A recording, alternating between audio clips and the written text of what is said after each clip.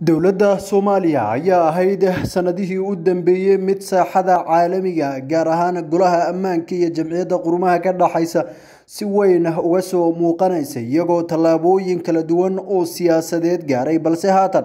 waxaa soo baxaya war arrintaasi ka duwan. Soomaaliya ayaa ka mid ah wadamo aan weli bixinin qoondadooda miisaaniyadda u n-ka taasi oo ay ku weyn doonto xuquuqdeeda codbixinta xogayaha guud ee jamciyadda qurumaha ka dhaxaysa antonio guteres ayaa warqad ka dhana soomaaliya iyo wadamo kaleeto. Waxa uu u diray folkan boskir oo ah madaxweynaha golaha loo dhan yahay ee qaramada midoobay sida ay shaacisay wakaalada wararka a a b. Master guteres ayaa marka hore madaxweynaha golaha loo dhan yahay la wadaagay warqadda xasaasi ah oo uu ku sheegay in ay xuquuqdooda codbixinta ku weyn doonaan wadamadaasi oo ay ku jirto jamhuuriyadda federaalk soomaaliya. Lacagta laga rabo soomaaliya ayaa gaaraysa ilaa iyo boqol afartan iyo afar kun saddex boqol lixdan iyo afar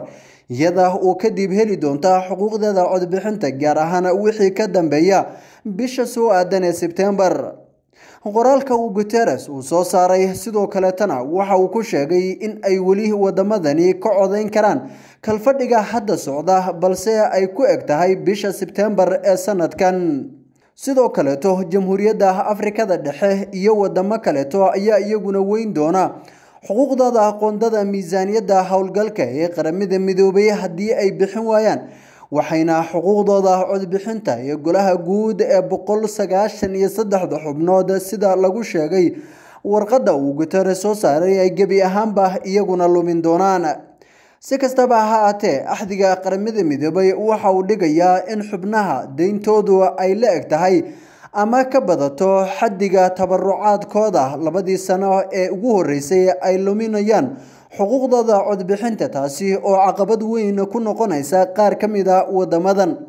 arrintan ayaa noqonaysa mid loo baahan yahay in dowladda soomaaliya ay sida ugu dhaqsiyaha badan wax uga qabato si tallaabadaasi iyada ay uga badbaado dowladda soomaaliya ayaa muddooyinkii u dambeeyey galaangalkeeda arrimaha dibadda uu sii xoogeysanayay waxayna golaha ammaanka ku leeyihiin hadda